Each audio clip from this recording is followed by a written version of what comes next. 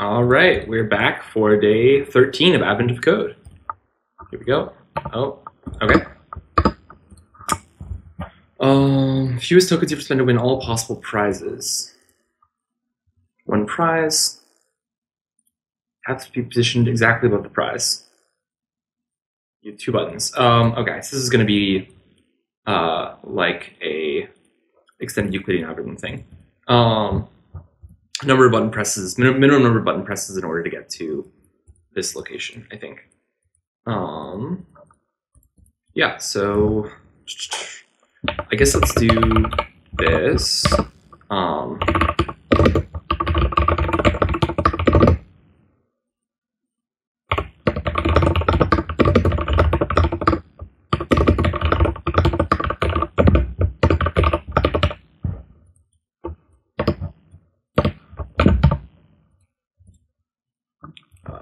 A, B, P. Um, okay. Hopefully this worked fine.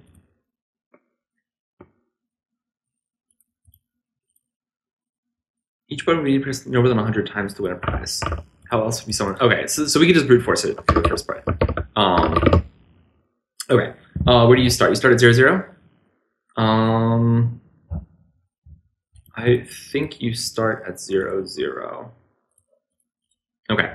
Uh, first, let's brute force it because the EGCD thing's gonna take a while, right? Um, no Um, and then the pause is going to be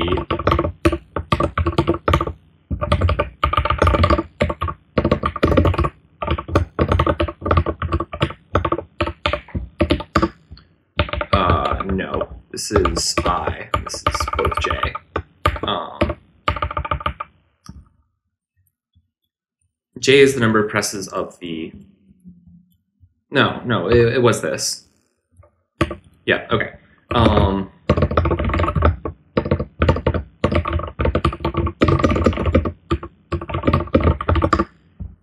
uh, this is fewest tokens. Okay.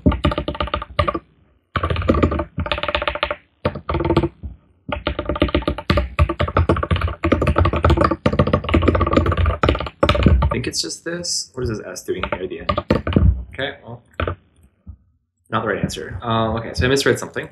Um, first, let's do that. Okay, well that's not great. Um,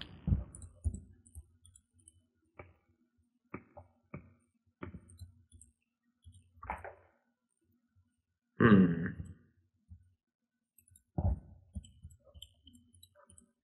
Let's try sample input. I'm doing something wrong.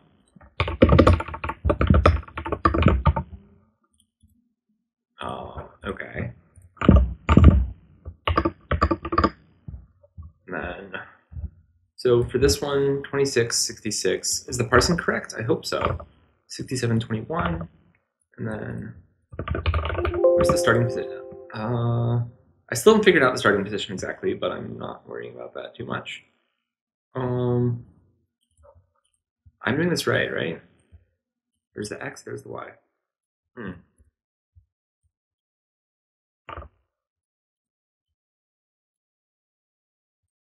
The first one on the list was not the one with the problem. Um, the second one, oh, there's no combination that'll ever win a prize. Ah, shoot. Um, ah, okay, let's get rid of this. There's the answer. Still not the right answer. Uh, was the sample input correct? 244. Um, hmm, okay, well, that's not right. So let's do this. I plus j. Oh, let's do the sample input, not the real one. 120 and 124. 120. Oh, I did not realize how the presses, how much they cost. Ah, shoot. It costs three for the A and one for the B. Ah, that's rough. 480, okay. I just cannot read text today. That is brutal. Oops, just this one. Six seconds. It did give the correct sample input. Three seconds. 191. Okay. Um, unit conversion error, position every prize is actually way higher. Um, okay. Yeah, so now this is just going to be extended Euclidean algorithm. Um, and for this, we will look up EGCD in Python. I think that there's, come on, this will work. Um, okay, and then if I recall correctly, I think what we want is EGCD of a couple numbers. Um, so, oh, no, this is actually a system of equations. Um, this is not that simple.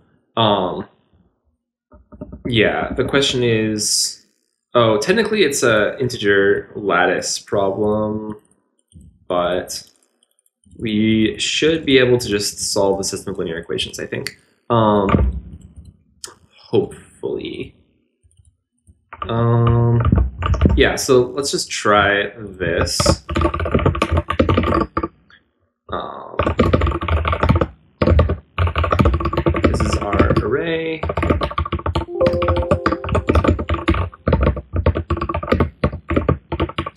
Can I actually do that? No.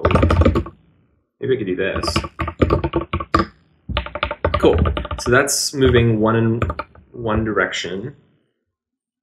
Uh, whoops, my A needs to be transposed. Okay, and then this reflects pressing A once and pressing B zero times, and then this is like one and one. Um, and now the question is, this matrix times something is equal to this vector. So I think we just want to like np dot linalg dot solve. Um, and then this is our matrix, and then our target is going to be this. If this is not integer, then I'm going to be sad. Um, I don't know if that is an integer or not. Um, I. Uh,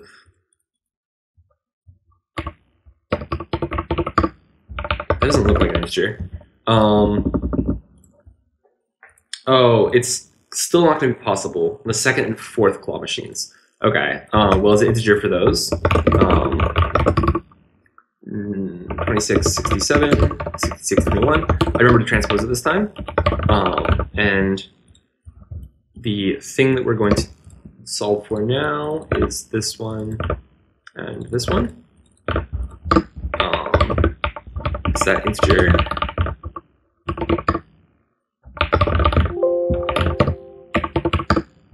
That is an integer. Okay, that's cool. Um, I think we can use numpy then. Um, let's just do that. So now, uh, array, and then I think it was, so I think it should be a b and then transpose, um, and then solve a against um, p. Put that here for some reason, um, and then specifically what we'll do is, I guess, this. I don't know how important the shapes right here, but I'm just going to be a little careful. And then, um,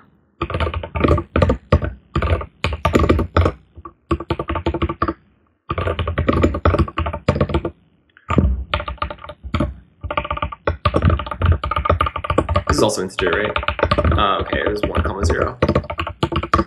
See, that's why I tested it. Um, hmm. Uh, we might need to double check the thing, but uh, we'll get to that when we get there. So press A, press B. Um, if um, what is the thing I want to do? I want to do this like plus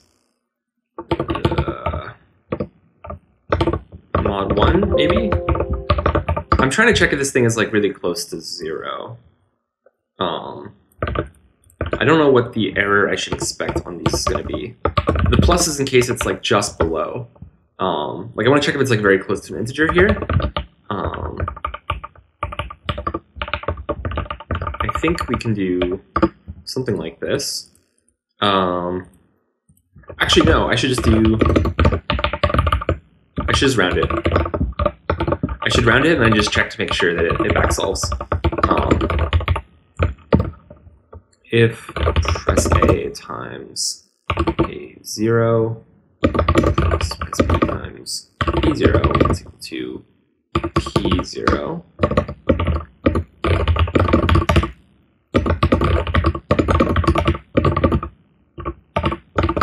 then we're good. Um, and in this case,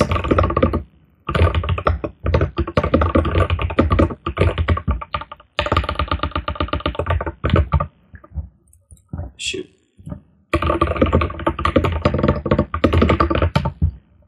There's a number. No, I submitted the letter V. Uh, well, now I have 56 seconds to try to sample input. Um, all right. On this one, I get take many more than 100 presses to do so.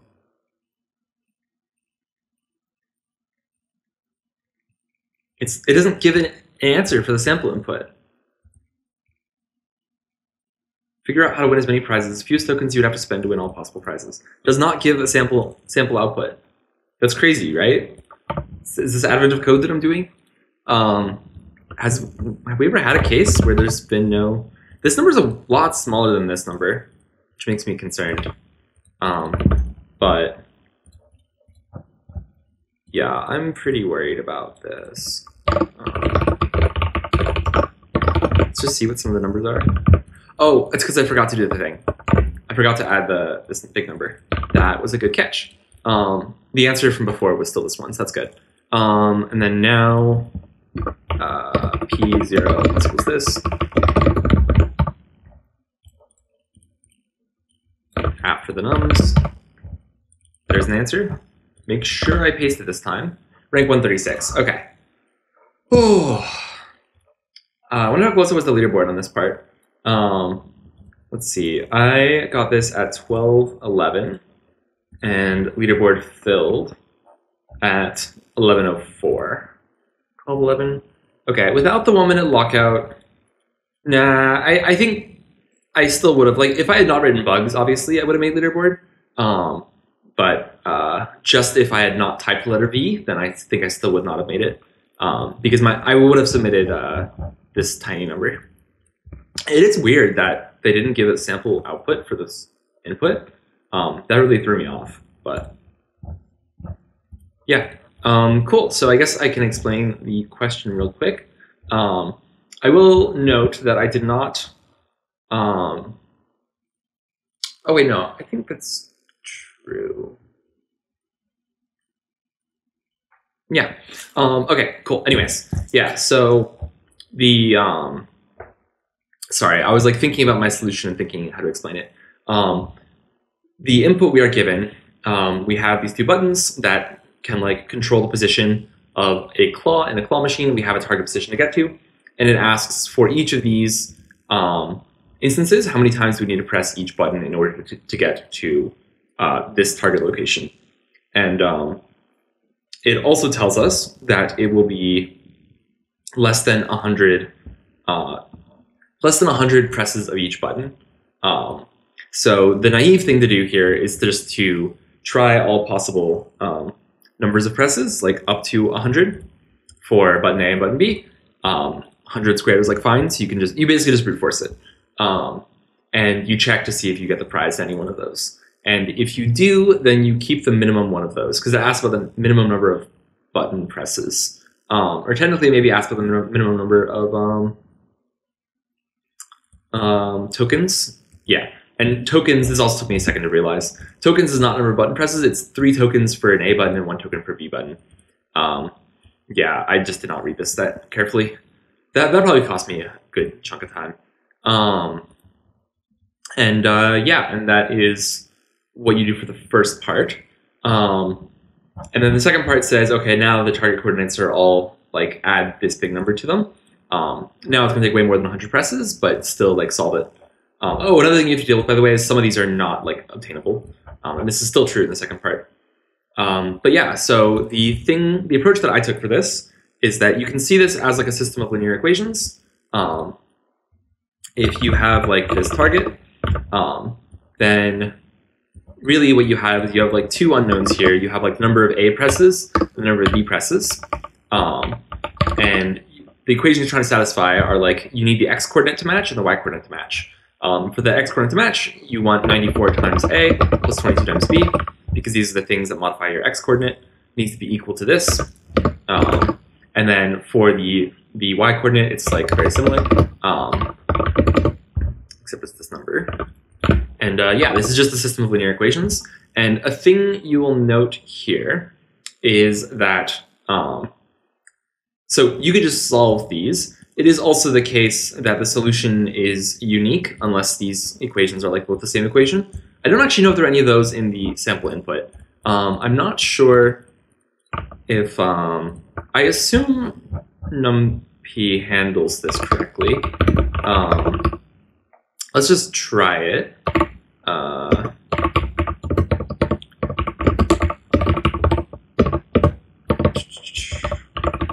NumPy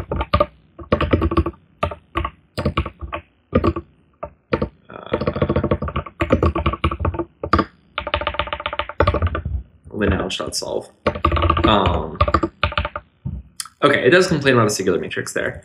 Um, so I guess we just got lucky and Eric did not give us any evil inputs. Um, although I guess I would have seen the error and that fixed it. I would have fixed it, presumably. Um, but but yeah, anyways, um, system of linear equations and you just you just solve. Um, the way that I check to see whether the solution is actually possible or not is what you really want to know is if there's an integer solution to this problem. Um, and so you just solve it and then check to see if the solution is integer. If the solution is non-integer, so like because the solution is unique, um, because we're assuming there's no singular matrices, um, then um, if you get like if you get non-integer solutions, then you know that it's not possible to reach the prize. Um, actually checking for these things being integers like a little tricky because this number is sufficiently large that you start to worry about floating point imprecision. Um, for example, when I did this solve, I got like this. Uh, it's got like a little bit of epsilon at the end. This is actually substantially larger than most epsilons. Um, so checking if a float is like basically an integer, ignoring the epsilon, is kind of annoying. Um, I was trying to do something earlier where I would like, you can do float modulus in Python, which is pretty sick. Um, so you can do like this. Um, so you could do some check, like make sure that this is less than uh, 1e minus 4. That's like one way you can check it. It's a little bit weird because in the case that you're like just below an integer, this will fail. Um, whoa, why did I do that? I had too many nines. There we go. Um, I guess with too many nines, this as a float just like deletes some of the nines. Oh yeah, that's interesting. Um, but if I had a more reasonable number of nines, um, this check would fail, even though this basically is an integer. So the thing I was trying to do was something weird, like 1e minus 4. I think some check like this is kind of robust, but in the end I did something a lot simpler, which is just round this number and then see, like plug it back into the equation, which is all has integer values, and just check to see does it now match. Um, yeah, so that was what I ended up going with, and um, that, that did work. Uh, I just had a few bugs that caused me to lose a bit of time. But um, yeah, that is all there is to it for day 13 of Advent of Code.